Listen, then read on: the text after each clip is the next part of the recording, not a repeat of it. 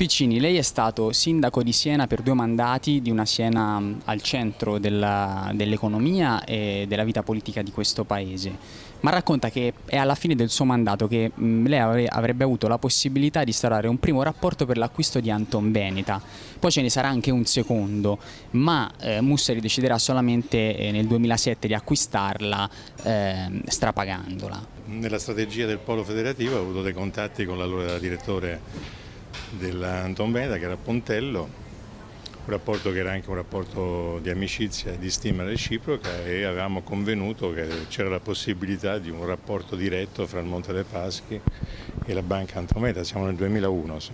Successivamente fu offerta da Agnuti, fu offerta da Agnuti credo intorno al 2004-2005, adesso non ricordo bene, è presumibile che il prezzo fosse inferiore rispetto a quello che poi è stato effettivamente pagato.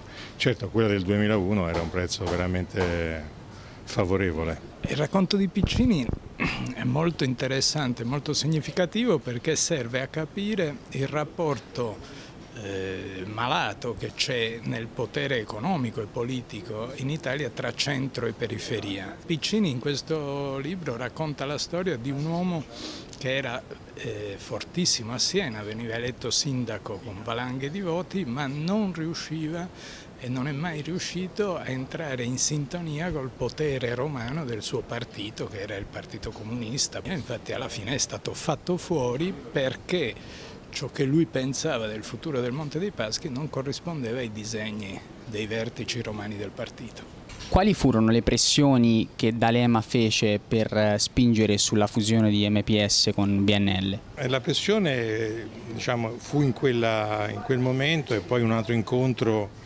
avvenuto precedentemente a Roma sempre quando eh, parlammo delle ipotesi di sviluppo del Monte dei Paschi.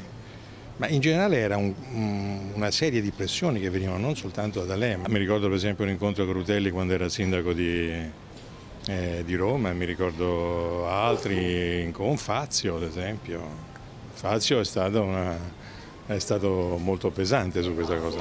La storia del Monte dei Paschi è una, è una vera e propria tragedia per il sistema finanziario e per l'economia italiana. Una banca eh, con un fortissimo radicamento locale insegue dei sogni di grandezza nazionale e internazionale perché questo vogliono i suoi padrini politici nazionali e eh, lo fa in maniera talmente eh, maldestra da distruggere se stessa.